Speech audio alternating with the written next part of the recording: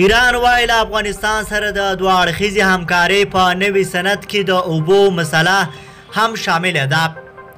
په کابل کې د ایران سفیر بهادر امینان وايي د ایران او افغانستان د همکاریو د جامع تړون پر جوړېدو او تیارولو پنځه کمیټې بوختې دي او بحثونه کوي د ښاغلي امینان په خبره له یادو پنځو کمیټو درې د اوبو او فرهنګي همکاریو پر مسله کار کوي او ترڅنګ یې په عادي سند کې پر اقتصادي، سیاسي، ترانزیټي،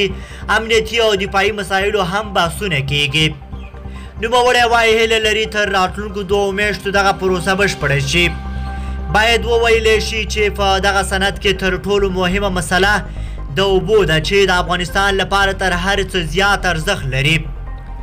سره له دې چې افغان حکومت د اوبو پر مدیریت ټینګار کوي خو بیا هم په خواله رسنیو کې افغانانو ته دا ویره پیدا شوې ده چې حکومت له ایران سره د اوبو پر سر معامله نه وي کړې او د ایران دغه لویه هیله چې له افغانستان سره په اوبو کې شرکت دی پوره شي د افغانستان حکومت د بهادر امینان د دغو څرګندونو په اړه